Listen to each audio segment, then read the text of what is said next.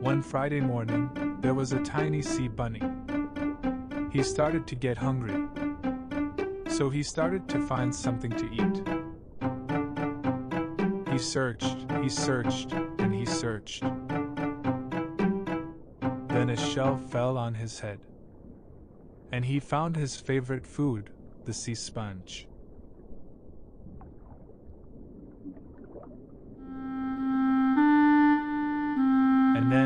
He met his new owner, the funny, funny fish.